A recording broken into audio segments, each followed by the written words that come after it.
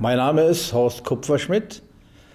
Ich bin, ich werde 80 Jahre im November und ich hatte schon immer eine kleine Leidenschaft für Film. Denn damals, als ich mit Schmalfilm anfing, gab es ja noch kein Video. Und auch Fernsehen wohl schon, aber natürlich nicht, war es nicht volkstümlich. Denn äh, in den Postämtern da gab es öffentliches Fernsehen schon 1936. Mein Großvater wollte mich immer mitnehmen. Ich hatte keine Ahnung, was Fernsehen ist und sagte jedes Mal, ach, was soll ich denn da? Ich wusste ja nicht, dass Fernsehen ein verkleinertes Kino ist. Und darum hatte ich das damals immer abgelehnt. Ich bin in Berlin geboren, ein alter Berliner. Im damaligen Robert Koch Krankenhaus, was ja heute geschlossen ist, nicht? In der Turmstraße. Ja, und äh, wir sind in kleinen Verhältnissen aufgewachsen. Wir wohnten Lübecker, Ecke Birkenstraße. Und das war ja damals auch so eine Arbeitslosenzeit. Da wohnten wir dann mit fünf Mann in Stube und Küche. Über uns wohnte die Familie Sass. Die kennt man wohl. Die hatten doch diesen Einbruch gemacht am Wittenbergplatz, ja.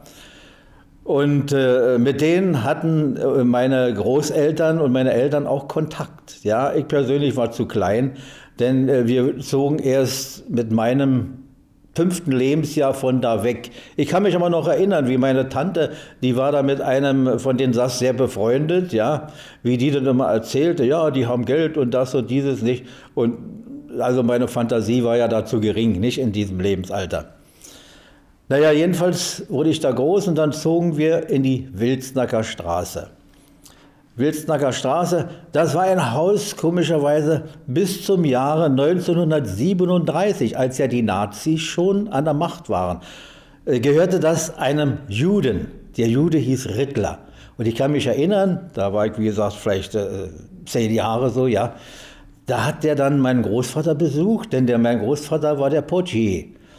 Und der, der, der Herr Rittler hatte ein Holzbein, ja, ganz pro ihm angezogen. Er wohnte schon in Israel, kam an und ich kann mich erinnern, vorne, ich bin nach vorne mitgegangen, da sagt er dann, mein Großvater hieß Holz, ja, Herr Holz, und Sie denken bitte dran, rechts kommt dann die Nazi-Fahne mit dem Hakenkreuz und links kommt die Schwarz-Weiß-Fahne, ja. Also ich will nur sagen, da war er auch noch nicht so äh, eingestellt gegen die Nazis, ja, 1937. Na, der war ja nun ganz furchtbar.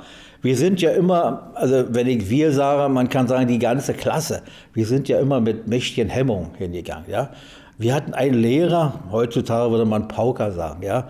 Damals war doch noch äh, äh, die Erziehung äh, mit, mit, den Schlaginstrumenten, Rohrstock und so weiter. Ja? Und das war ein ganz verrückter. Also man musste da ganz vorsichtig sein, dass man da nicht aneckte ich nahm an, also nach dem, was ich nun in meinem Leben so gelesen und gehört habe, ja, er hatte irgendwie so eine Ader und Freude am Prügeln, ja. Denn wenn ich zurückdenke, er hat in erster Linie, die ich als hübsch empfunden habe, diese Jungs, die hat er in erster Linie verprügelt immer, ja. Na, jedenfalls war das schlimm. Der einzige Vorteil war natürlich, dadurch, durch diese Strenge, haben wir natürlich mächtig gelernt, nicht? Weil wir mussten ja, um, um nicht anzuecken, ja. Und äh, das ging durch. Ich ging von der ersten bis zur letzten Klasse durch, ohne sitzen zu bleiben. Ja, ja und dann äh, war ja auch schon Krieg. Und wir Schuljungen im letzten Jahr mussten noch Luftschutzdienst in der Schule machen. Am Eingang, wo wir dann raufgingen zur Schule, da war recht gleich ein Zimmer, das wurde freigemacht. Und da waren immer zwei Jungs, die eben äh, äh listenmäßig dran waren. Die haben dann Luftschutzdienst gemacht in Bereitschaft. Wir haben da Pritschen gehabt, da konnten wir dann schlafen, ja, und so weiter. Und wenn, wenn im Fliegealarm war, dann mussten wir aufstehen und mussten warten, ja, kommt nun irgendetwas, eine Brandbombe oder was auf, auf, auf die Schule, ja. Und dann müssten wir äh, versuchen, diese äh, Feuer zu löschen, was Gott sei Dank nicht eintraf, ja. Und etwas später dann, äh, die Schulzeit, wie gesagt, äh, äh die war dann zu Ende, dann ging das los mit einer Lehre. Mein Vater wollte unbedingt, dass ich Mechaniker werden sollte, aber ich hatte überhaupt kein Talent für sowas, ja. Und da muss ich mal kurz erwähnen, Folgendes, ich habe vier Wochen dann bei Siemens Marienfelde gelernt. Ja. Ich konnte keinen Block gerade feiern. Ja, also war furchtbar. aber ich möchte wohl mal sagen, wie die Jungs da behandelt wurden zu dieser Zeit. Ja? Wir erst nach dem Klingeln wenn jetzt Pause war, musste alles im Dauerlauf zur Kantine. Da gab es jetzt Essen. So, das war ungefähr so 10, 15 Minuten. Wir hatten 30 Minuten Zeit. Dann war wieder ein Klingel. Da mussten wir Jungs alle raus auf den Hof. Und da wurde Sport getrieben, eine Viertelstunde. Dann klingelte es wieder. Dann mussten wir wieder im Dauerlauf äh, äh, zu unserem Arbeitsplatz. Und es ging weiter. Und dann war es auch so, wenn wir dann mal irgendwie eine Zeichnung brauchten oder irgendein ein Gerät, was nicht am Platz war, dann musste alles im Laufschritt geschehen. Ja? Wenn da jemand mal äh, gegangen ist, dann schrie irgendein Meister, das war an jeder, jeder Reihe war immer ein Meister. Der schrie dann gleich, aber am Laufschritt, am Laufschritt, ja. Also das war ganz verrückt. Das hat mich natürlich auch sehr abgestoßen, aber wie gesagt, ich hatte gar kein Talent für sowas, nicht? Und dann bin ich, äh, habe ich da aufgehört, nicht? Weil der Meister, der kannte meinen Vater, der sagt, oh, weißt du, dein Junge, der kann ja nicht, der kann nicht gerade fallen und nicht. Und ich war glücklich. Denn ich musste erstens jeden Morgen von Morbid nach Marienfelde, nicht? Das ist ja über eine Stunde Fahrzeit mit der S-Bahn, Umsteigen, Gesundbrunn und so weiter, ja. Na, jedenfalls äh, habe ich dann eine wunderschöne Lehrstelle bekommen bei Leineweber. Das war ein Bekleidungshaus, ein ganz großes Bekleidungshaus am Spittelmarkt, ja.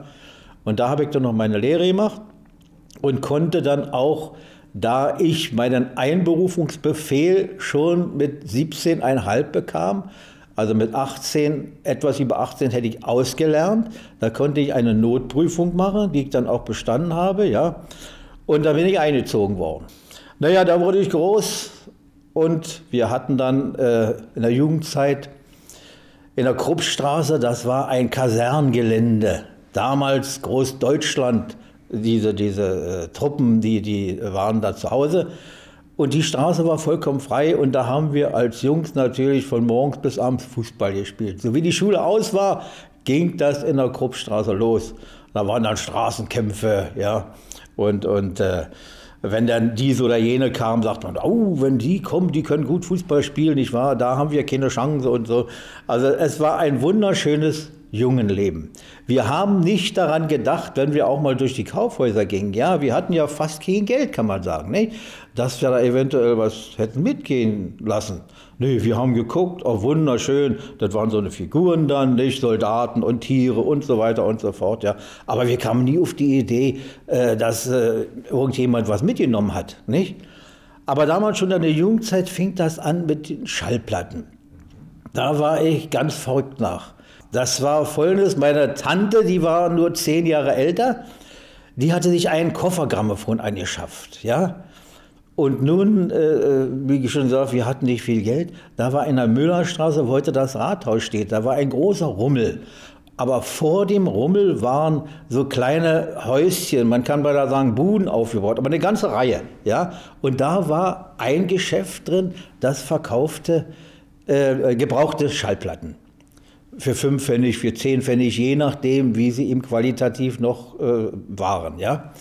Und da bin ich dann immer von Mobit hingelaufen, zurückgelaufen. Wenn ich dann mal 10, 20 Pfennig hatte, hat immer Platten gekauft für meine Tante und auch gleichzeitig für mich zum Spielen. Ja? Da fing also die Freude schon an. Äh, man kann sagen, so ein bisschen künstlerisch. Ja? Und diese Kinosache begann natürlich dann auch ich dann zum, äh, zu den Soldaten kam, da konnte ich noch nicht mal das Gewehr halten. Ja?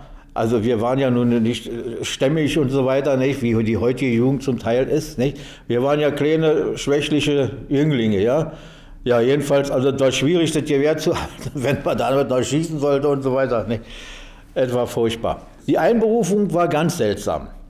Wir hatten einen, Kast, einen Briefkasten, also es war nicht wie heute, dass unten die Post abgegeben wurde. Jeder hatte äh, seinen Briefkasten in jedem Stockwerk, ja, und der hatte eine Klappe. So, und eines Tages muss wohl meine Mutter oder mein Vater den Briefkasten geöffnet haben und nicht darauf geachtet haben. Jedenfalls, mein Einberufungsbefehl flog in die Ecke. Und da waren so ein paar Säcke mit, mit alte äh, äh Kleidung und sowas alles, ja. Und ein paar Tage später, da suchte ich da was. Ich denke, was ist denn da? Hier liegt ja ein Brief, was ist denn das? Ja, das war meine Einberufung. so, nun musste ich natürlich äh, mich melden und zwar ist das auch wieder eine, eine Unlogik. Ja, ich äh, musste mich in, wurde in Prag, musste mich in Prag in der Kaserne melden, musste mich aber erst in Wien melden und dann zurückfahren nach Prag, ja, um da in die Kaserne zu gehen. Nicht? Naja, das war schlimm. Nicht? Das waren ja alles junge Leute. Ich kann nur eins noch erwähnen, wie ich ankam da war der Spieß, ich hatte ja gar keine Ahnung von Spieß und Rangordnung und so, weil mich Militär nie interessiert hatte. Ja. Da kam der Spieß und wir standen alle in Zivil da, ja, wer kann Fußball spielen? Ich sagte, ja, ich, ich und dann noch eine andere, ja, wo hast du, wo haben sie gespielt? Ich ging erst zu Sie, nachher war ja du, ne? Ich sagte, Minerva 93, Minerva 93 war früher ein ganz wunderbarer Verein, der hat immer in der höchsten Klasse gespielt, ja. Ja, ja, ja, ja, ja, ja, mach, mach dich mal fertig, machen Sie sich mal fertig, nicht wahr? Und Sie spielen gleich mit. So, ich habe den ja nicht mehr so in Erinnerung gehabt. Jedenfalls spielte ich neben den und der hatte gar keine Ahnung von Fußball. Nur habe ich den nochmal angeflogen. Mensch, du musst doch das machen und das machen und so, ja. Und nachher, als ich dann äh, angezogen schon Uniform so da vor der Front stand und so weiter, da kam der raus. Ich dachte, ach, das war ja der Spieß. nee. Naja, das war eben eine verrückte Sache. Wir wurden untergeordnet. Ich möchte damit betonen, ich habe mich da nicht freiwillig gemeldet. Wie gesagt, Uniform und, und, und Wehrmacht hat mich nie interessiert. Wir wurden untergeordnet der SS, der Waffen-SS sozusagen. Ja? Nicht? Das hatte einen einzigen Vorteil, was ich später erst erfahren habe. Wir haben immer gutes Essen bekommen, durchweg. Ja? Naja, jedenfalls muss ich sagen, mein Leben wurde ein paar Mal gerettet. Aus folgendem Grunde.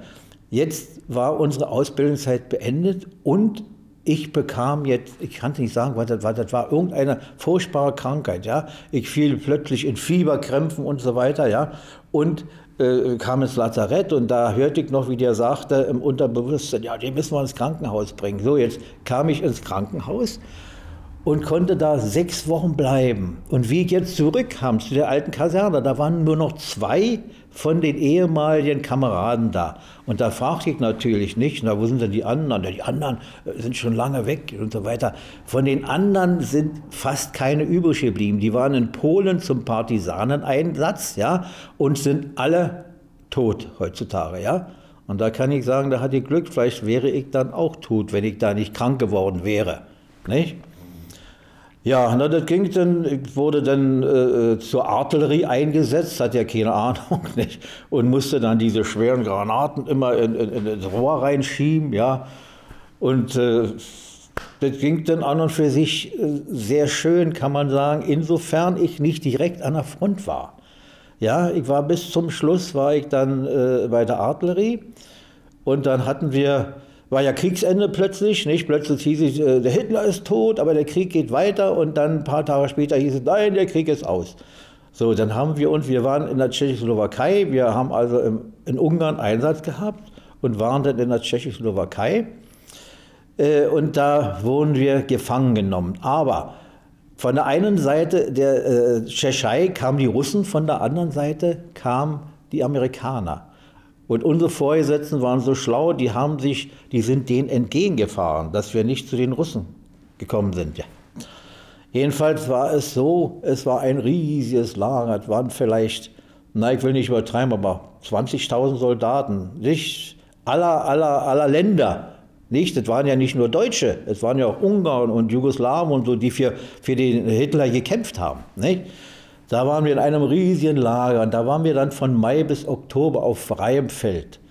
So, da hat dann die, die, äh, die Amerikaner haben dann gesagt, weil der ganze Fuhrpark, der stand ja nun abseits, nicht unser Fuhrpark, da haben die gesagt, ja, also ihr könnt jetzt die ganzen Fahrzeuge kaputt machen und könnt euch dadurch etwas äh, äh überdachen, damit ihr Schutz habt gegen die Natur, nicht? Denn wir waren ja von Mai bis Oktober, ob es geregnet hat, nicht oder nicht, lagen wir nur da, nicht?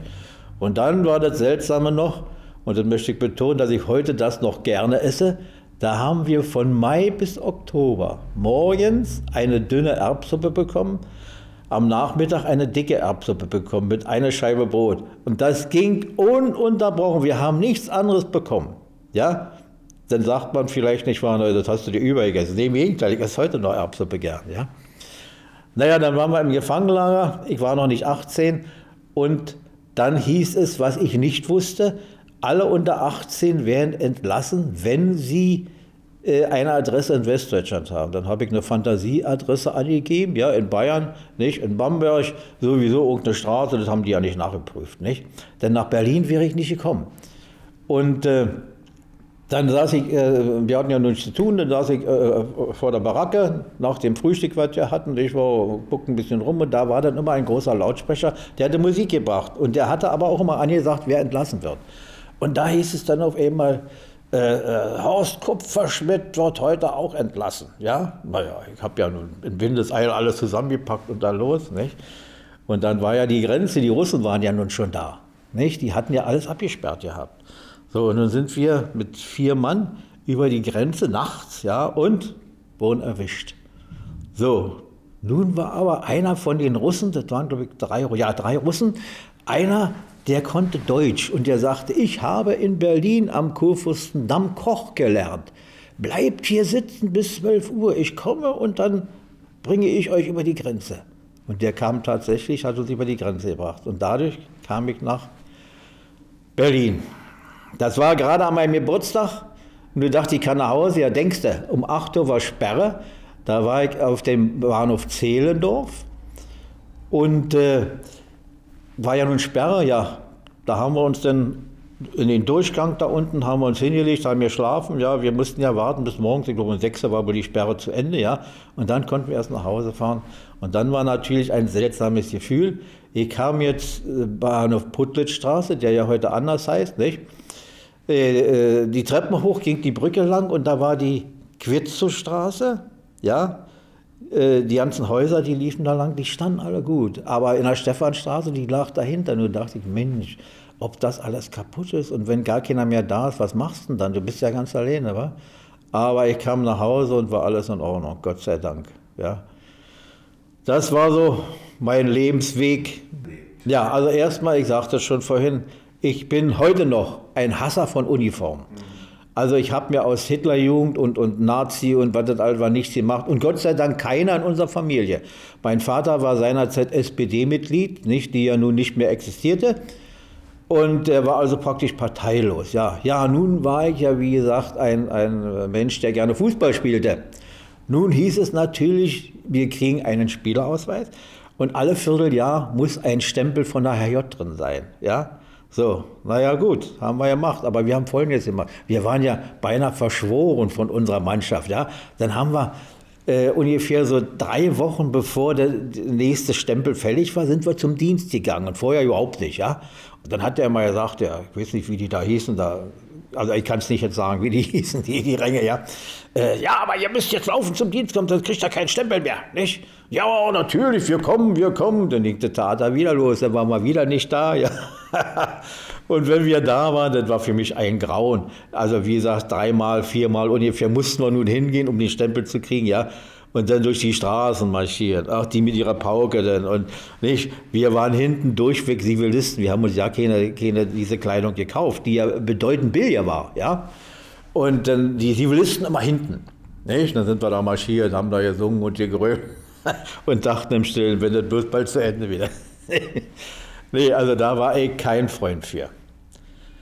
Nicht? Und wie schon gesagt, unsere ganze Familie, wir waren keine Gegner in dem Sinne, wir waren Mitläufer, wir wollten unsere Ruhe haben. Ja, und ich kann mich erinnern, bei meiner Tante, die hatte immer ein großes Hitlerbild über, über den Küchentisch zu hängen, wo wir, also wir ja nicht, wo sie immer dann Frühstück gemacht hat. Und als mein Onkel fiel, wurde das Hitlerbild in den Müll geworfen.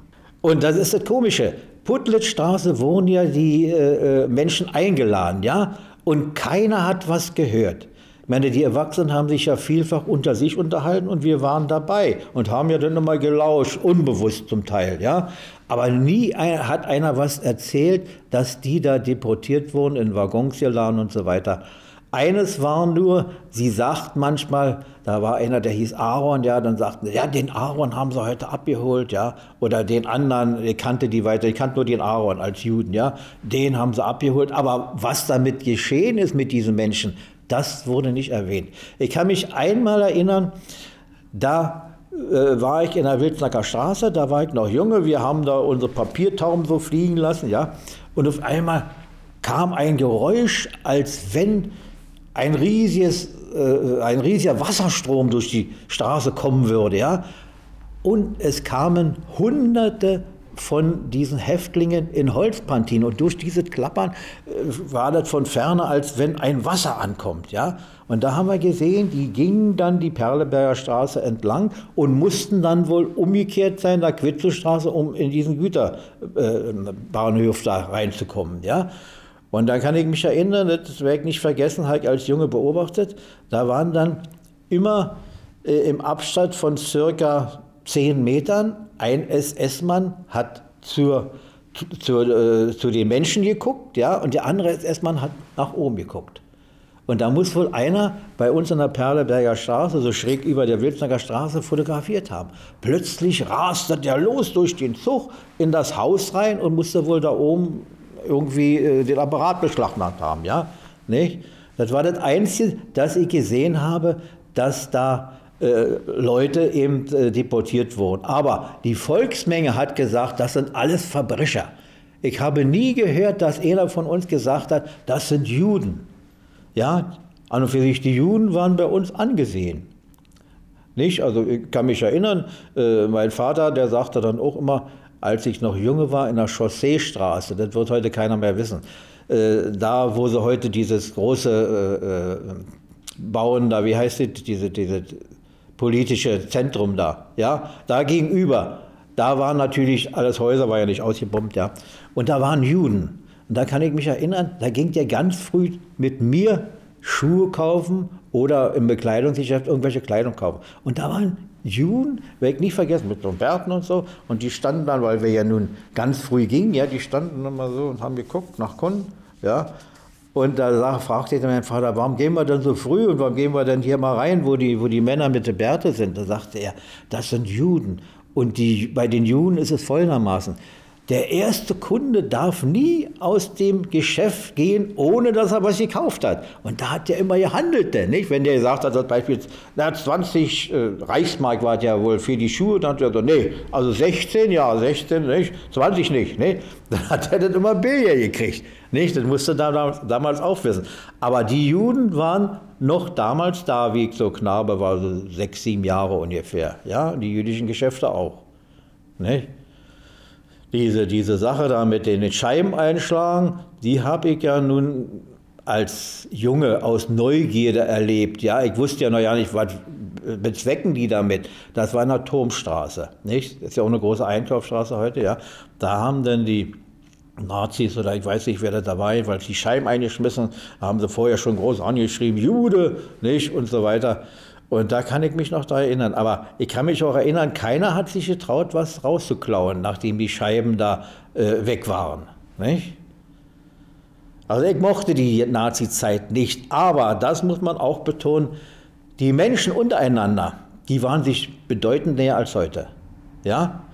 Nicht? Ich habe nie erlebt, ich kann mich auch nicht erinnern, dass in unserer Familie ein Besuch war, der gut über die Nazis gesprochen hat. Im Gegenteil, die haben nicht schlecht gesprochen, die haben überhaupt nicht darüber gesprochen. Nicht? Und einmal, weiß ich noch, meine Tante, die war verliebt in jemanden, der sah ungefähr so aus wie der Schauspieler Rudolf Brack. Ja? So, das war aber auch ein Nazi-Gegner. Jetzt haben sie den eingezogen, der ist getürmt. Jetzt haben sie den in irgendein KZ oder in einem Lager gebracht, ist er auch getürmt. Und eines Tages, ich spielte auf der Straße, an der Wilsnacker Straße, da stand er gegenüber, ja, und winkte immer so. Ich denke, das ist doch der Freund von meiner Tante und ging rüber. Und da sagte er dann, äh, geh mal rein, Hilde hieß die, ja, geh mal rein zu der Hilde, die soll rauskommen. Du darfst niemandem etwas sagen, nur die Hilde, weiter keinen, ja. Und dann sagte ich ihr das, dann ging die auch raus, nicht? Und dann habe ich später natürlich erfahren erst, dass er aus dem Lager geflohen war und er wollte ein bisschen Geld oder Essen oder irgendwas haben, ja. Nicht? Das war das Einzige, was ich so mal miterlebt habe. Ja, das erste Kino, das war ganz toll. Und zwar, der Film hieß Oberwachtmeister Schwenke und war über 18 Jahre. Ja, so, ich war damals, war 34, ich bin 27 geboren, also sieben Jahre war ich alt, ja. Und mein Großvater, der hatte so eine Freundschaft mit dem Kohlenhändler, der hieß Schmidtchen, der wohnt auch in der gleichen Straße, ja, ein Stückchen weiter weg. Und äh, da, da äh, kamen die beide zusammen und da sagte der Schmidtchen, ich war auch bei ihm, ja, an der Hand, und da sagte der, ja, weißt du, ich muss rüber, ich bin ja noch Kartenabreißer. Denn früher hieß es Kino Arthurs Hof, später hieß es Corso. Ja, ich bin der Kartenabreißer, komm doch mit, ja, kannst dir die Vorstellung ansehen. Da sagt mein Großvater, ja, weil ich neben ihm war, da kann der Junge mitkommen. Na, er sagte, Mensch, das ist über 18 Jahre, mache ich mich strafbar, aber wir machen folgendes, pass mal auf, wenn der Film angefangen hat, dann kommt ihr rein und setzt euch ganz leise hinten hin, dass euch keiner sieht. Und das war nur der erste Film mit sieben Jahren, der über 18 war, den ich gesehen habe. Heute haben sie den Film im Fernsehen gespielt, da konnte jeder Mensch sich den ansehen. Ja, also da war gar nicht bei, was man sagen konnte, das ist jugendgefährdend. Ne? ja, das war mein erstes Erlebnis. Dann fing das an. Gegenüber, wie schon gesagt, war ja das Corso-Kino.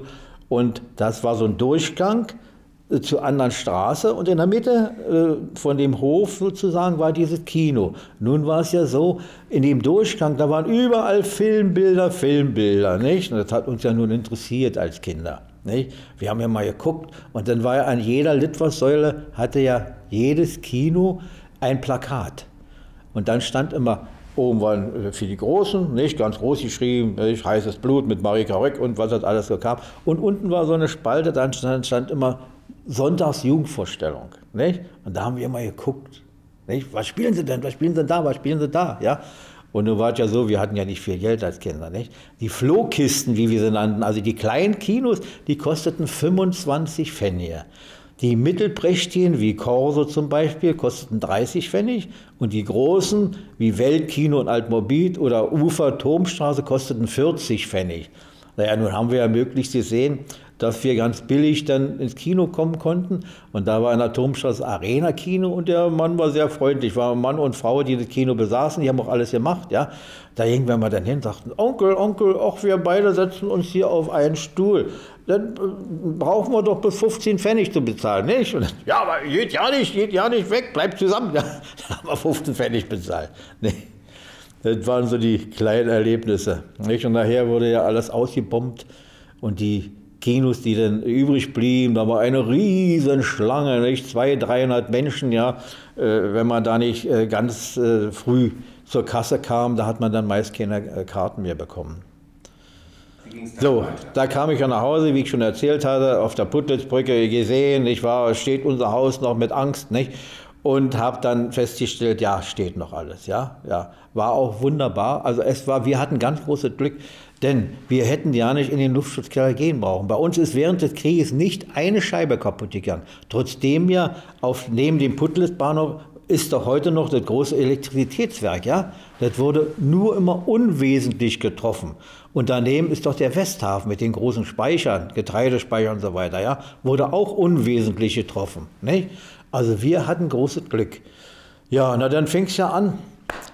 Arbeiten, aufräumen, aufräumen. Ja? Und wenn man das heute mal den heutigen Politikern erzählt, die müssten mal so leben. Wir haben nämlich für 65 Stunden Lohn sind wir entrümmern gegangen, aber wir hatten ja nichts.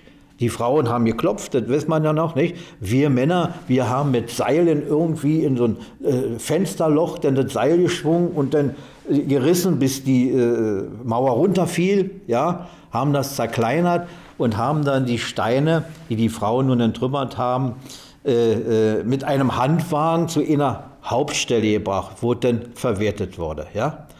So, 65 Stunden Lohn. Jetzt kamen wir nach Hause. Wir hatten ja nichts, es gab ja keine Kleidung, nicht, nicht. Wir haben ja mit unseren äh, bloßen Händen haben wir die Steine und so weiter bearbeitet und so. Da gab es keine Handschuhe und sowas alles, nicht? Dann kamen wir nach Hause. Ja, das war kalt. Es gab ja nichts zum Heizen. Ich hatte Gott sei Dank noch aus meiner Sportlerzeit einen Trainingsanzug. Dann sind wir mit dem Trainingsanzug ins Bett gegangen. Ja? So. Wenn wir dann äh, nicht gleich ins Bett gegangen sind, haben vielleicht noch ein bisschen gelesen, dann war ja der Strom kontingentiert. Es hieß also, ihr dürft nur so und so viel verbrauchen an Gas und Strom und so. Nicht? Und plötzlich ging das Licht aus. So, war Stromsparer. Dann hat man bei Kerzenlicht gesessen in der Kühle, in der Kälte, ja, und hat dann gelesen oder irgendwas gemacht, nicht? Meist ist man dann gleich so ins Bett gegangen, nicht? Mit einer Decke noch drüber, so man hatte. Und äh, äh, so ging das Leben dann, nicht? Wir sind dann, wenn wir mal in der kalten Jahreszeit jetzt. Ja, im Sommer war es ja nun nicht so. Jedenfalls in der kalten Jahreszeit. Dann sind wir, das kostete 80 Pfennig, ins Kino gegangen. Das Kino war immer durchgeheizt. Und dann gab es auch sogenannte Wärmehallen. Das waren äh, irgendwelche Lokale, die hatten extra Kohlen bekommen und da konnten dann die, die Bevölkerung konnte da reingehen, ohne was zu verzehren. Ja, und konnte sich richtig aufwärmen. Nicht? Ja, so war das damals. Es gab kein großes Essen. Wir haben mit Trockenbrot und, und man kann auch nicht mal sagen mit Margarine. Das war ja alles so winzig, ja, was wir bekommen haben. Nicht? Wir haben uns dann, wenn wir zur Arbeit gingen, meistens drei Scheiben Trockenbrot, das haben wir unterwegs aufgegessen. Dann hatten wir die ganzen Tag nichts zu essen. Ja? Wenn wir nach Hause kamen, dann haben wir uns eine Mehlsuppe gemacht. Es wurde immer zusammengespart, wahrscheinlich bei vielen Familien, für Sonnabend, Sonntag, wo wir, nee, Sonnabend war ja ohne Arbeitstag, Sonntag, ne? Da gab es dann mal so ein Stückchen Fleisch für jeden, ja. Oder wir haben uns mal erlaubt, eine schöne Butterstulle zu essen und sowas alles, ja. Also es war ganz minimal.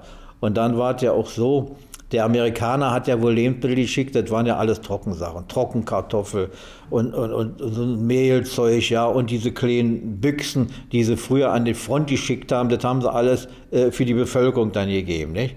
Man war natürlich nur zufrieden, dass man was zu essen hatte.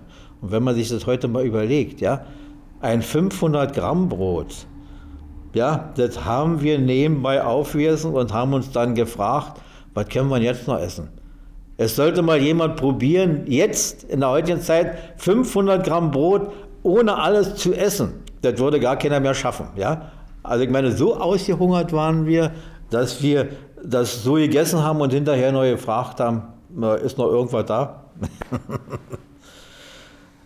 Ja, ich war, äh, äh, naja, Kaufmann kann man nicht sagen, sondern mal kaufmännischer Angestellter, weil ich ja nun in der Modebranche da bei Leineweber gelernt habe, ja. Aber das war ja tot. Es gab ja nichts. Es gab ja erst glaube, zwei oder drei Jahre später Kleiderkarten. Und das war ja auch nichts Modisches. Man war zufrieden, dass man sich ein Pullover, ein Hemd und so weiter kaufen konnte, ja. Nee, ich habe dann nebenbei äh, so kleine andere Jobs gemacht. Nicht, nachdem das nun hieß, äh, man braucht nicht unbedingt mehr entrümmern, nicht? Man hat an und für sich, das muss ich auch noch erwähnen, man hat an und für sich niedrige Arbeiten aus dem Grunde angenommen, man hat eine bessere Karte bekommen. Wir haben dann die Arbeiterkarte bekommen. Das hieß, ein Arbeiter bekam pro Tag 500 Gramm Brot, ein Angestellter bekam 300 Gramm Brot, ja? Und natürlich in Fett und Fleisch und so weiter, genau, so runtergesetzt, nicht? Darum, darum haben wir das auch in erster Linie gemacht, nicht? Ja, und dann habe ich kleine andere private Firmen besucht und gearbeitet mit ihnen, ja. Und dann kam plötzlich die Arbeitslosigkeit. Zwei Jahre war ich arbeitslos. Das war allgemein hier in, in Berlin und so weiter. Nicht? Ich kann mich erinnern, wir haben bekommen pro Woche 19 D-Mark 90. Es war ja damals diese, diese D-Mark-Zeit, ich weiß nicht, äh, ob du das weißt, da waren die, die alten Hitlerscheine, da war so eine Briefmarke aufgeklebt, ja. Nicht? Das war also das Gültige noch, bevor das Westgeld kam. Nicht? War ja als Westgeld. Und äh, ja, 1990 habe ich bekommen. Da habe ich 15 äh, äh, Mark abgegeben und habe den Rest eben für mich verbrauchen können. Naja, man war nur junger Mensch, man war schon 18, 19, 20 ungefähr. Das war nicht viel Geld. Nicht? Wenn man bedenkt, äh, Kinobesuch 80 äh, Pfennige und alle anderen Sachen waren auch nicht billig. Nicht? Denn äh, Bier, das war ja so ein, so ein, so ein, so ein ganz leichtes Bier. Nicht? Und äh, dann kam die Zeit, das war wohl 46, 47, wie das mit Alkohol anfing. Dann haben sie was zusammengebraut, das hieß Alkoholat. Das hat so geschmeckt wie Wermutwein ungefähr, ja. Naja, hat die Flasche auch so ungefähr 8, 9 D-Mark gekostet. Ne? Wir waren ja nie irgendwie äh, äh, Freunde vom Alkohol. Nicht, trotzdem ich im Sportverein war, nicht, da wurde ja dann mächtig immer gepichelt. Nicht, meistens natürlich von den Zuschauern aus. Naja, jedenfalls äh, kam es so ganz, ganz langsam wieder zum Besseren. Das war ja nun so, ich sagte schon, ich habe Fußball gespielt und war nicht einer der schlechtesten. Ich will damit sagen, ich habe immer in der ersten Mannschaft von Hellas Nordwest gespielt. Da war der Spielobmann Helmut Hoppe, der nun schon lange, lange tot ist. Ja? Der hatte eine Firma, sozusagen Arbeitseinsatzbetrieb. Wir nannten das natürlich Sklavenbetrieb, ist ja klar. Ne? Und äh, der hatte viele Beziehungen und unter anderem auch hier in der AEG. Und da konnte ich hier reinrutschen. Wie gesagt, er hat natürlich diejenigen bevorzugt, die in der ersten Mannschaft gespielt haben. Ja? Und da kam ich hier in die AEG. Und da war ich ungefähr drei Jahre und habe hier, äh, wo die Uhr ist, in dem Uhrenturm, das war früher BF, das hieß Bahnfabrik, ja, da habe ich ein Lager aufgebaut und zwar, äh, musst du dir das vorstellen, es war ja hier vieles zerstört. Und da lagen die ganzen Vorrichtungen, Bohrvorrichtungen, Fräsvorrichtungen, Drehvorrichtungen und so weiter, die lagen natürlich alle verstreut herum äh, äh, unter, unter Steinen und Geröll und sowas alles. Ja. Die haben wir aussortiert, einsortiert, also sauber gemacht und so einsortiert und dann äh, haben wir Regale zur Verfügung gestellt bekommen. Und dann haben wir die schön einsortiert, haben Karteikarten angelegt und so weiter. Jedenfalls war der Hauptchef, der hieß hier Mümert, der war so zufrieden, dass er eines Tages mich in sein Büro rief und sagte oder fragte, sagen Sie mal, wollen Sie nicht bei uns anfangen? Naja, das war dann natürlich eine tolle Sache, ja. Bei, bei der Firma Hoppe haben wir damals bekommen eine D-Mark pro Stunde und hier habe ich schon 1,19 bekommen. Ich meine, wenn man heute sagt 19 Cent, dann sagen die, was ist denn das sozusagen? Aber damals war das an und für sich viel Geld. Ja? Ein Facharbeiter, kann ich mich erinnern, die haben eine eine D-Mark 40 bekommen, damals. Ja? Nicht? Heute ist es natürlich viel höher alles. Ja, jedenfalls fing ich da an und habe dann das Lager übernommen da oben. Nicht? Da kamen dann die Leute mal hoch, die äh, der, aus der Bohrerei, aus der Fräserei, aus der Dreherei und so weiter, ja. Die haben dann immer äh, die und die Vorrichtung verlangt, ja.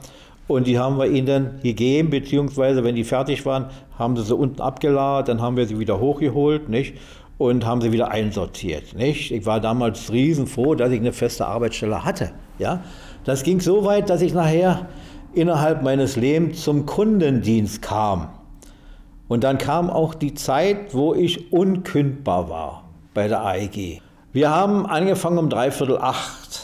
Endstation war jeden Tag um dreiviertel fünf. Wir kamen hier in dieses Tor hier vorne an der, wie heißt die Straße? Gustav Meyer Allee, ja, kamen wir rein. Da möchte ich ganz kurz einflechten, da war seinerzeit noch in einer Betriebsversammlung ein großes Trara, da haben die Angestellten gesagt, wir Angestellte, wir dürfen nur Brunnenstraße raus und die Arbeiter, die müssen hier Gustav Meyer Allee raus. Ist natürlich nicht durchgekommen, ja, das bloß zwischendurch. Gut, wir kamen rein, dann war eine Stempeluhr, dann mussten wir stempeln, nicht? So, dann waren wir da. Dann sind wir nach oben gegangen zu unserer Arbeitsstelle meine Arbeitsstelle war ja vollkommen frei. Mein Vorsitzender saß ja ein paar Etagen tiefer im Büro. Ja, ja nun haben wir dann ein bisschen was geordnet oder was sauber gemacht und so weiter, bis der erste Kollege kam, der erste Kunde sozusagen und hat was verlangt. Ja, dann haben wir den das rausgegeben. Und es war so, man kann sich das heute nicht vorstellen. Nicht? Denn ich möchte Folgendes betonen: Ich hatte das Lager übernommen war drei Jahre da oben. Es war eine ganz ruhige Beschäftigung. Ja? Ich habe da äh, die Vereinszeitung von Hellas Nordwest geschrieben, nicht, weil ich das konnte. Ja? Ich habe etliche Berichte geschrieben und so. Ich musste mich ja beschäftigen. Mein Lager war ja ein Schuss. So wie was hochkam, habe ich gleich alles in Ordnung gebracht, einsortiert und so weiter. Ja? So. Und es war manchmal, manche Tage kamen zwei Kunden bloß. Und eines Tages geschieht Folgendes. Ich äh, bin da nur inzwischen real, kommt der Betriebsrat hoch. Da sagt er zu mir, ja, sag mal, Kollege, was machst du denn hier? Ich erkläre denen meine Arbeit und dann sagt er, ach so, ach so. Naja, nun verschwand der wieder, ja, aber der Sinn lag ganz woanders. Plötzlich kam, also Tage später, kam mein Chef hoch und sagt, Sie kriegen einen Kollegen. Ich sage, na nu, warum denn? Ich habe doch hier, bin da ja nicht richtig ausgelassen. Ich habe doch Ihnen schon öfter mal gesagt, haben Sie nicht eine andere Arbeit noch, damit der Tag schneller vergeht, ja. Ja, nee, sagt er, nee. Ich sage, aus welchem Grunde denn? Ja, der Betriebsrat hat gesagt, wenn Sie hier oben äh, im Lager sind und arbeiten und Sie fallen mal um und es kommt am Tage keiner, dann liegen Sie hier so lange, bis einer kommt. Jetzt habe ich noch einen Kollegen. War ein sehr netter alter Herr, der, der, der konnte nicht mehr äh, in der Fabrikation mitmachen, ja. Und den haben sie mir hochgeschickt, nicht? Oskar hieß der. Nun waren wir zu zweit. ja, das war nachher so, also die Arbeitsstelle war ja hervorragend, ja. Der Chef, der kam manchmal hoch, ganz freudestrahlend, sagte, Kinder, Kinder, ich habe eine freudige Nachricht. Ja, was ist denn, was ist denn? Nicht? Der hieß Weidlich, Herr Weidlich, ja. Ja, ich habe wieder Zulauf für euch bekommen. war ja schön. Wir hatten ja an und für sich keine große Arbeit, ja. Ja, das ging dann ein paar Jahre lang, nicht? Und dann hat sich das aufgelöst, dann wurde die Bahnfabrik geteilt, die kam dann hier rüber in diese Quergebäude und die Bahnfabrik, die hatte diese Stromabnehmer gemacht für die Straßenbahn. Ja, früher war doch nur, war doch nur ein Steg mit einer Rolle, das ging dann zum, zur, zur Leitung. Und die waren dann schon so, so, so, so biegsam, die konnte man runterziehen und hochziehen und die sind auch nicht mehr rausgerutscht. Manchmal sind doch die, die Rollen rausgerutscht, nicht? Die hatten wir da gemacht und dann bin ich darüber gekommen. Und äh, war da auch ein paar Jahre, ja, war auch eine gute Arbeitsstelle, konnte man nicht sagen. Naja, und eines Tages hieß es dann, ja, wir müssen auch reduzieren, nicht? Und da dachte ich auch noch reduzieren, dann versuch doch mal, ob du wegkommst, nicht? Und da hatte ich das versucht und da haben sie auch mich hin und her, die wollten mich nicht loskriegen. Ich weiß nicht warum. Vielleicht war ich sympathisch, ich weiß es nicht. Jedenfalls hatte ich dann schon äh, in der Hand, was ich bekommen würde. Das waren damals doch diese Westmark, das waren 9000 Westmark, ja. Und dann dachte ich, naja, wirst du über die Runden kommen und so weiter. Und plötzlich rief jemand an äh, zum Personalbüro und die riefen mich wieder zum Personalbüro und sagten, wir haben ja eine schöne Stelle für Sie. Na, nur wo denn? Ja, ja hier im Märkischen Viertel, im Kundendienst. Nicht? Und in dem Kundendienst bin ich dann eingestiegen. Nicht? Ich war dann auch, ich war, hat ja an und für sich Angestellter gelernt, ja, und war natürlich die ersten Jahre immer hier äh, gewerblich, wie man sagt. Heute sagt man, oder hat man früher gesagt, arbeitermäßig, ja. Und da wurde ich dann wieder Angestellter. Und dann habe ich äh, äh, das miterlebt, wie das auch aufgelöst wurde. Aber ich wurde ja zum Hohenzollern da mitgenommen. Da war ja der ganz große Kundendienst, ja. Und da war dann eben die Sache, wo ich von mir aus sagte, Mensch, ich möchte noch ein bisschen von meinem Leben haben, was kriege ich Rente, da komme ich mit aus, ich hier. Nicht? Naja, dann bin ich rausgekommen. Und ich wollte nun gerne früher aufhören, ja, ist ja klar. Und ging dann zu meinem Chef und das war, ich muss äh, noch dazu sagen, das war eine Zeit, wo sie bei der AEG, an AEG Telefunken war es ja, ja, anfingen schon auszusortieren. Und da haben sie natürlich auch langjährige Mitarbeiter aussortiert, von denen sie wussten, die sind lahm oder, oder, oder können nicht mehr richtig und so. Und die haben riesige Abfindungen gekriegt. 20, 30.000 D-Mark damals, ja. Das war viel Geld. Nun ging ich zu meinem Chef und sprach mit ihm darüber. Sagte, nee, erstens bin ich mit ihnen zufrieden. Zweitens, wenn ich sie entlassen würde und sie gehen zum Arbeitsamt, dann sagt das Arbeitsamt, da gehen Sie mal zurück. Sie sind ja unkündbar. Ja, ja, nur blieb mir weiter nichts übrig. Ging ich zu der Stelle, die meine Rente ausgerechnet hatte. Ich äh, hat mir dann meine Zahlen geben lassen und habe festgestellt, auch damit kommst du gut zurande, ja. Und habe dann selbst gekündigt. Dann war die, die, die Sache so, meine Angehörigen sind alle weggestorben. Nun hatte ich mir inzwischen von meinem Geld. Wir hatten ja, wir hatten ja äh, ein bisschen Geld bekommen noch beim Fußball und so weiter, ja. Und ich hatte auch noch äh, Fußballtrainer gemacht. Nicht? Ich hatte den damals den BTSV, ich weiß nicht, ob du den, ob du den kennst, BTSV 1850. Der war in der letzten Klasse letzter. Den hatte ich übernommen als Trainer und im ersten Jahr wurden wir Zweiter. Da stieg aber nur der Erste auf, der Meister. Und im zweiten Jahr waren wir Meister und stiegen dann auf. Ja? Ich will damit sagen, ich war nicht nur einer von denen, wo man sagt, ach Gott, den brauchen wir nicht. Naja, dadurch hatte ich ein bisschen Geld, habe mir dann ein Grundstück zugelegt in Lübars. Nun starben alle weg. So, nun habe ich natürlich überlegt, was machst du denn? Du hast eine Wohnung in Morbid, im Tiergarten, nicht? Und du hast das Grundstück. Willst du nicht lieber auf das Grundstück? Ja. Ich habe gesagt, du bist zu Hause, da hast du einen Garten, da hast du deine Freizeit. Und es war gut so, denn ich hätte in der Wohnung, in, in Tiergarten gar nicht meine Filme machen können. Warum?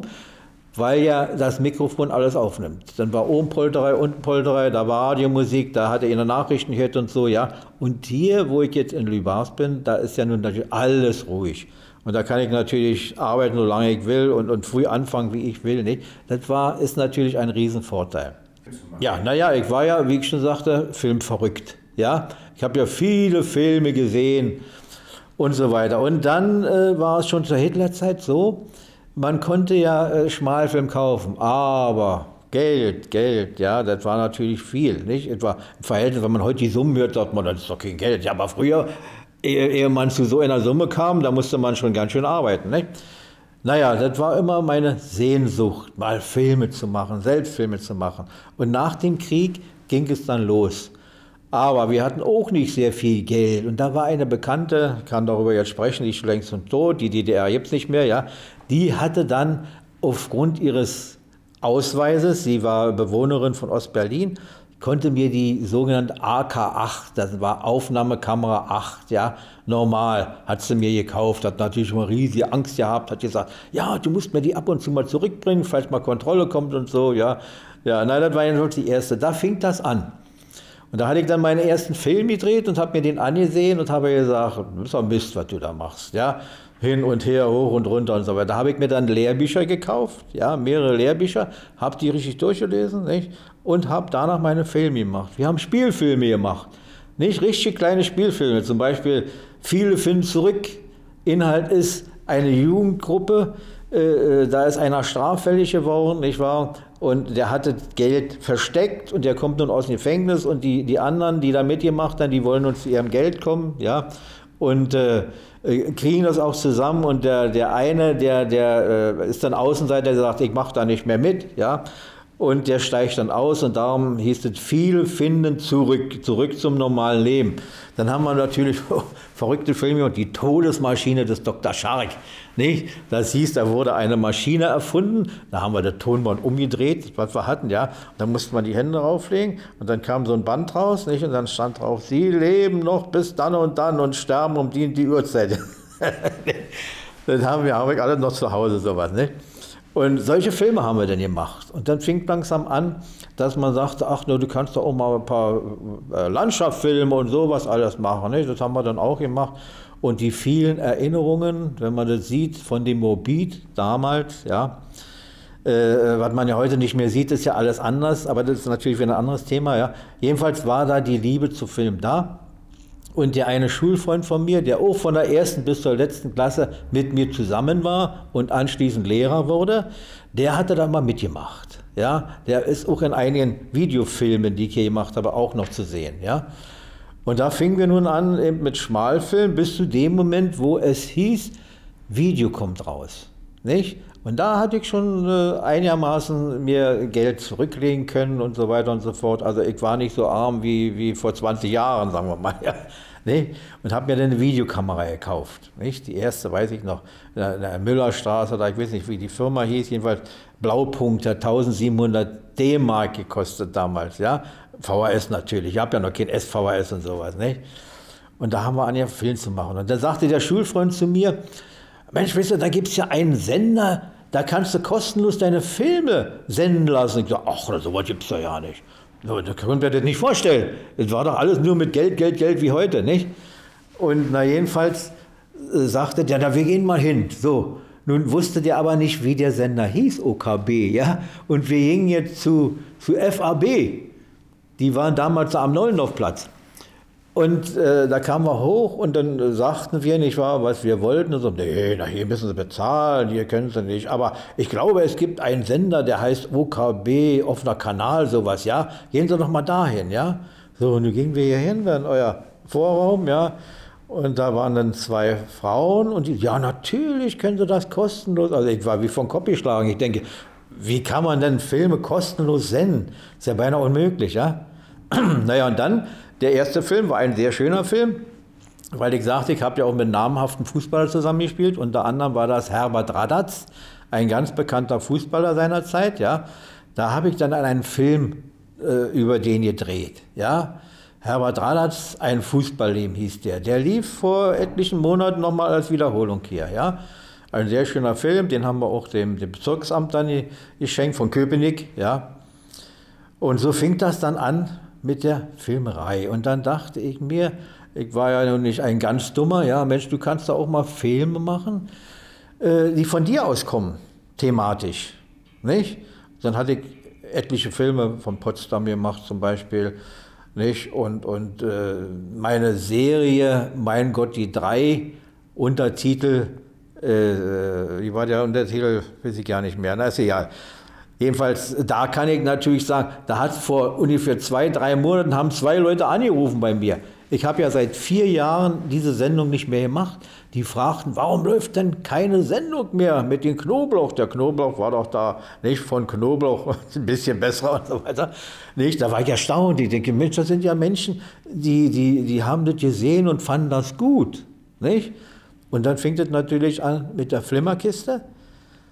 Und äh, naja, da bin ich bis heute geblieben. Und dann kommen immer wieder Stunden, sagen wir mal lieber, es kamen immer Stunden. Da habe ich gedacht, wenn ich jetzt anfing, eine neue Flimmerkiste, Mensch, guckt denn da überhaupt einer zu? Und dann rief einer an, dann kam ein Brief, zum Beispiel in dem Brief habe ich zu Hause noch mehrere Briefe, ja, da schrieb dann eine alte Dame, mit dieser Sendung haben Sie mir meine Jugend zurückgegeben. Und ein anderer schrieb, kam, der kam zu euch und wurde von euch zu mir geschickt, da, auch ein alter Herr, ja, der schrieb, ich habe Ihre Sendung über die alten Filme und Filmstars gesehen, ich bin hingerissen. Und da dachte ich im Stillen, das ist ja doch nicht so, dass du denkst, na, es guckt ja keiner zu. Es sind ja doch Menschen, die nicht nur gucken, die auch Freude daran haben. Nicht? Das war für mich ausschlaggebend. Denn so eine Sendung, du weißt es ja, was das heißt, nicht? Diese Flimmerkiste, die ich mache, die ja jetzt wieder läuft, äh, das dauert immer bei mir zehn Tage ungefähr. Die Sendung entsteht folgendermaßen. Da setze ich mich hin und schreibe erstmal ein Manuskript.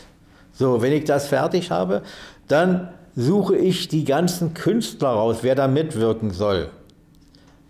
Die sind jetzt auf einer Liste. Dann suche ich mir die ganzen Filme raus, die ich bringen darf, denn ich darf ja nur nach dem sogenannten Zitatgesetz was bringen. Ja, ich kann da nicht 15 Minuten Filme, das geht nicht. Ne? Dann äh, ist das strafbar. Ja, und dann äh, geht das los. Jetzt muss ich mir von den Filmstars, die nur singen sollen, nehme ich immer drei Bilder. So, nun muss ich aber erstmal als Beispiel Hans Albers, jetzt muss ich mir erstmal drei Hans Albers Bilder suchen. Jetzt muss ich mir drei so. Da blätter ich manchmal stundenlang in Zeitschriften, in Büchern, um diese Bilder zu finden. Nicht? Jetzt, wenn die, wenn die drei dann zusammen sind, muss ich mir die passende Musik dazu suchen. Nicht? Und so geht es mit dem Film genau. Ich gucke mir manchmal beinahe einen Film ganz an, weil ich bin so ein Mensch, ich möchte gerne eine Filmszene, wo der Zuschauer sagt, ach, die ist in sich ein bisschen abgeschlossen. Ja? Ich mag das auch nicht, äh, mit einem Satz anzufangen. Nicht? Dass der gerade, und dann setzt du ein, ja, nee, das mag ich nicht. Der soll möglichst durchweg sprechen. Nicht? Und na, wie gesagt, dann muss alles natürlich zusammengeschnitten werden, erstmal sortiert werden, geschnitten werden, ja. Und so, also es ist eine ganz schöne Arbeit, aber es ist natürlich für mich auch etwas, das mich beschäftigt. Das ist ja auch wichtig, nicht? Denn mein Garten und so muss bestellt werden. Ich bin alleine, wie ich schon sagte, alle sind weggestorben, ja. Und äh, äh, meine Sachen, ich muss mir die Wäsche machen, ich muss einkaufen gehen, ich muss kochen für mich und so weiter, ja. Das ist doch nicht so viel, dass ich nicht die Zeit für so eine Filme übrig habe, ja. Aber es kam, wie ich schon sagte, immer zuerst der Gedanke, guckt dann überhaupt einer zu. Ne? Ja, ich bin ja da nun groß geworden, ja. Und äh, mit meinem Schulfreund, der zum Teil geholfen hat, da haben wir uns informiert, Gibt es denn überhaupt so eine Filme? Wir haben auch etliche Berufsfilme angesprochen. Da haben die zu uns gesagt, so was können wir nicht machen. Wir verdienen ja kein Geld daran. Ja, die wollen ja gleich um in die Tausende gehen, um ihr, ihre Arbeit, ihr Material und ihren Verdienst zusammenzukriegen. Ja, also keiner hat Mobilfilme gemacht. Da haben wir, da wir Mobil kannten, angefangen, Mobilfilme zu machen. Wir haben inzwischen acht Mobilfilme mit unterschiedlichen Themen. Natürlich äh, zeitlich, Minuten zeitlich, sagen wir mal, hier und da dieselben zehn und so, ja. Aber durchweg sind es immer andere Themen, ja. Und da möchte ich erwähnen, äh, dass diese Filme sehr anerkannt wurden. Erstens, durch diese Filme wurde ich im SFB Berliner des Tages. Zweitens, bin parteilos, hat die CDU mir den Mobiter Wecker, der alljährlich verliehen wird, äh, überreicht und drittens bekam ich vom Bezirksamt Tiergarten die silberne Ehrenmedaille des Bezirks. Aufgrund dieser Filme. Und da sage ich mir, das kann ja nicht so ein großer Schund sein, sonst würde mir das ja nicht gegeben haben. Nicht? Ja, und gleichzeitig ist es so, ich bin ja nun eng und liebevoll mit diesem Bezirk verbunden gewesen. Natürlich heute ist es ein Unterschied wie Tag und Nacht, ja. Nicht? Gegenüber damals war ja auch äh, nicht zerstört und so weiter. Die Menschen waren unter sich nicht. Es waren auch nicht so viele Ausländer. Ich meine, das bringt ja auch immer irgendwie eine Distanz mit, ehe man richtig zusammen wohnt und so weiter. Nicht? Das war ja damals alles nicht. Und dann war die Serie fertig und sagte ihm, naja, acht reichen ja nicht. Und dann, was kannst du machen? Na Mensch, Filme, Filme, Filme, ja. Und ich hatte noch nie gehört, dass jemand äh, einen Film oder eine Filmserie über alte Schauspieler und äh, äh, Filme bringt. Und dann habe ich im Laufe der Zeit auch gehört, und das kann dich und mich stolz machen, dass der OKB Berlin der einzige Sender in ganz, in ganz Deutschland ist, der über alte Schauspieler und ihre Filme Sendungen bringt. Ja, ich habe viele Zuschriften aus Westdeutschland, einige aus dem Ausland und habe aber gehört von Leuten, die hier in Berlin wohnen, weil in Westdeutschland der offene Kanal nicht zu empfangen ist, ja, dass die äh, äh, geschrieben haben, beziehungsweise per Telefon wie gesagt haben, wir schicken eine Kopie nach England, nach Holland, nach Kanada, in die Schweiz, ja, also es überall doch angesehen, sind natürlich alles Deutsche, die ausgewandert sind, ja, und die, die eben Interesse an diesen alten Filmen haben. Ja, als nächstes, ich habe schon fix und fertig außer Vertonung einen wunderschönen Potsdam-Film. Da sind nicht nur die Schlösser, da sind auch die Innenräume und ich habe sehr viele Potsdam-Filme gesehen, habe selbst auch drei professionelle Potsdam-Filme und muss eines sagen, so eng, wie ich den gemacht habe, habe ich noch keinen gesehen. Ja, der kommt dann auch demnächst hier zu euch. Das ist zum Beispiel damals in Morbid. Das sind alles Auszüge aus den Schmalfilmen. Ja, da habe ich das, das Morbid von 1956 bis ungefähr 58 habe ich da drin. Nicht? Das war die Zeit, wo praktisch noch kein Ausländer hier war und wo auch andere Gesetze galten, als heute. Ich möchte bloß eines erwähnen. Da mussten äh, die Bewohner, wenn sie gestorben sind, einen bestimmten Friedhof aufsuchen lassen, um sich bestatten zu lassen, was heute nicht mehr ist. Ja? Und äh, das habe ich auch gezeigt, habe auch gebracht und so weiter, nicht? Und einige andere sagen so, die Straßenbahn fährt nicht mehr hier, nicht? Und, und naja, also 56 äh, bis 59 war ja die Nachkriegszeit. Man sieht noch viele Ruinen ja, ich zeige die Ruinen und, und mitunter war es so, ich habe die Ruine gezeigt und dann habe überblendet, dass das Haus jetzt heute dasteht und so, dass jeder sich ein Bild machen konnte, nicht? wie es damals so war. An dem Filmemachen interessiert mich in erster Linie, man kann, soweit man hat, seine Intelligenz mit einbeziehen. Ja? Und ich bin immer darauf bedacht, die Zuschauer am Bildschirm zu halten. Ich möchte und habe das meistens auch immer geschafft, Filme so bringen, dass jeder sich fragt, während er meine Filme sieht, was kommt jetzt, was kommt jetzt, ja? Wenn einer davor sitzt und sagt, Mensch, also noch eine so eine langweilige Stelle, dann schalten wir um, ja? Das möchte ich vermeiden. Das habe ich bisher auch geschafft. Denn ich habe noch keinen gehört, der zu mir gesagt hat, in den ganzen Jahren von 92 bin ich wohl hier jetzt, nicht?